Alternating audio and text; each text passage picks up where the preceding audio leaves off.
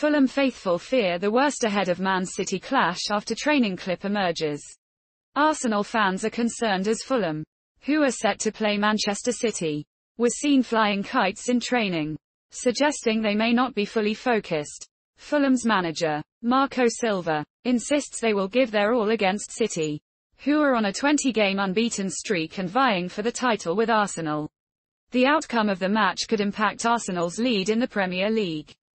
Please subscribe to my channel.